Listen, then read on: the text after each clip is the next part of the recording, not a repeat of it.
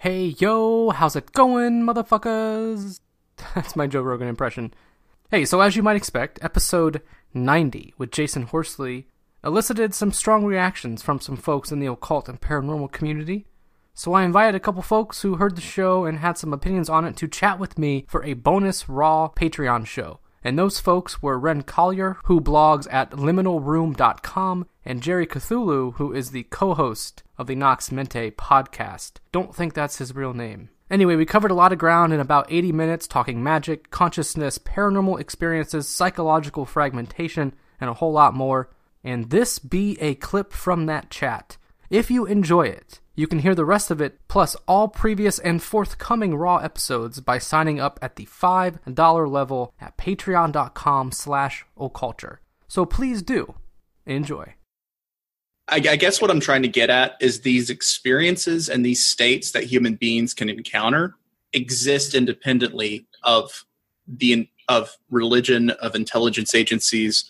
Like religion didn't create that experience. That experience exists outside of that right now what religion and what these agencies doing social control and things do is they tell you how to interpret that experience right they tell you well that's because you know you need to figure out how to die correctly or else a dragon's going to eat you in the afterlife or you need to escape the cycle of death and rebirth they tell you what to believe right and that makes it even more important in my opinion to engage with the experiences and figure out for yourself what the experience is about right? Instead of relying on some authority figure to tell you what the experience is about. And that's what I feel like people like um, like Robert Monroe did um, in you know his his books. He had no preconceived notions about the experiences he was having because he had no frame of reference to examine them, right? So he came up with his own ideas about what the experience was, what his purpose on earth was, like what the whole point of the out of body state was. But you shouldn't believe him either you should do the work and figure it out for yourself right that's the problem and you know on some level I, I, sympathize with jasun's point here because people often look to an authority figure to tell them what to think right? You look towards people like crowley to tell you what magic is.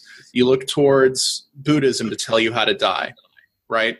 And i understand that desire because these experiences can be very confusing and strange.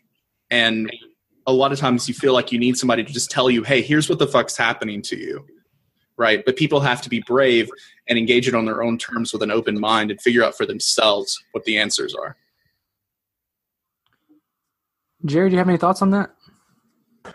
Which part? yeah, that's sort of long-winded there. Uh, sorry. On the original question about the separation, I, I, I don't think the astral travel experience is necessarily leaving your body just like a lucid dream is not leaving your body. Well, how do we know it's not? I mean, it could be, right? Right. We don't know, and I, I just tend to think yeah. it's internal. That's all. I mean, I I can't say that it isn't right, and mm-hmm. that's a big point that uh, Dean Radin makes about near-death experiences and these sort of experiences in his latest book, is that there's no objective way to tell right? Like scientifically, you can't determine one way or the other whether something is uh, objective or subjective experience, right? And that doesn't um, in any way invalidate the experience. No, it doesn't. Yeah. I mean, I tend to fall on the other side of belief, and I, I think that out of body experiences are legitimately objective experience, that you are traveling uh, non locally. And I think that there is veridical evidence to back that up by people like Graham Nicholls and, and other authors who've explored the state, and, and people like Robert Monroe, Whitley Strieber. Um, I, I don't. I don't think that it is something that is entirely in your head. Um, now, that doesn't mean that you send out some sort of energy that can be measured by scientific instruments, right? Like, I don't know. It, it may operate on some level that we have no access to in the physical world. Uh, there isn't there isn't enough research on it to determine what the nature of the experience is. That's and that's another reason I disagree with Jasun and think that these type of things should be researched right? Because i think they have vast implications for human cognition consciousness and our future as a species